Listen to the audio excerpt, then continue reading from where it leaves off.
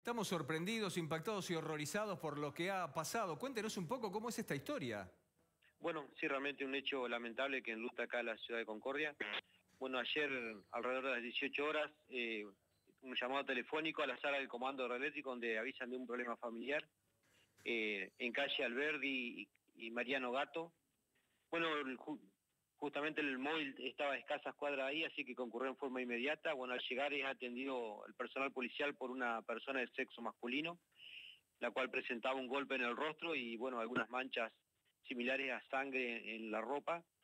Eh, quien le manifestó que no pasaba nada, que estaba todo tranquilo. Bueno, el personal policial igualmente lo demora un segundo, ingresa al domicilio y bueno, se encuentra con, con un cuerpo de una femenina tirada sobre el piso y bueno, y dentro del baño de una, el cuerpo de una criaturita de cuatro años también ensangrentada totalmente.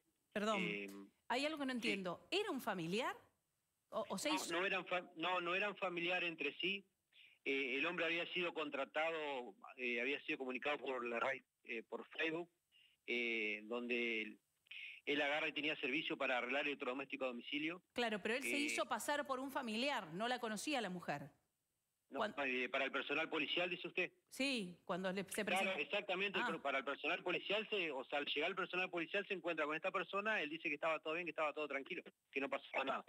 Igualmente el personal policial lo demora ahí, bueno, se encuentra después con el cuerpo en el interior de la vivienda. Eh, bueno, los cuerpos estaban con signos vitales, así que fueron trasladados al hospital. Y bueno, la persona fue demorada a la dependencia, fue anoticiado el fiscal, el doctor Zabaleta, bueno, se tomó intervención en el lugar del hecho y bueno, lamentablemente a las 20.20 informan desde el nosocomio que el, deceso de la, señora, la cual es mayor de edad, eh, bueno, debido a los múltiples golpes y heridas que había recibido. En tanto, a la menor se encuentra en terapia intensiva, eh, hasta el momento eh, no ha evolucionado ni favorable ni desfavorablemente, así que está con el mismo cuadro ayer cuando ingresó. Señor, ¿el presunto asesino tiene antecedentes? No, no tendría antecedentes, es una persona mayor de edad, de sexo masculino y oriunda acá a la localidad de Concordia.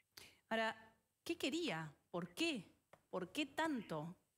Bueno, eso es materia de dilucidar, estamos trabajando como auxiliar a la justicia, que, quien dirige la investigación es el doctor Zabaleta, como dije anteriormente, el fiscal interviniente, así que bueno, se está tratando de atar los cabos para ver cuál fue eh, el motivo del crimen y bueno, qué llevó a este horrendo hecho. Em, señor, ¿desconfía usted de que haya algo oculto aquí? Es muy raro llamar a un service, un sujeto que viene presuntamente a arreglar un electrodoméstico y que todo termine desencadenando un drama de este tipo. ¿Allí hay algo que no se está diciendo que no se conoce? ¿Hay algo que está escondido? ¿No le da esa sensación? Bueno, no se descarta ninguna hipótesis, se mm. trabaja sobre todas las hipótesis y bueno, se está trabajando, como ya le digo anteriormente, para ver si había una relación eh, entre la víctima y el victimario una relación anterior al hecho.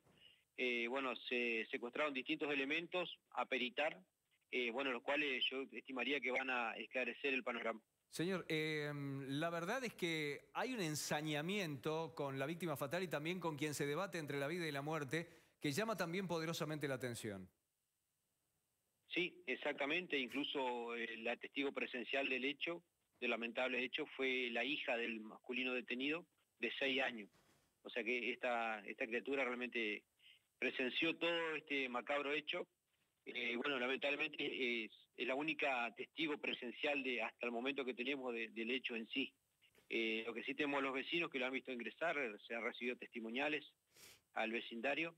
Y bueno, como le digo anteriormente, se está trabajando, no descartando ninguna hipótesis y bueno, esperando la, la pericia de los elementos que fueron secuestrados para peritar eh, para poder tener un panorama más claro de cuál era la relación entre ambos.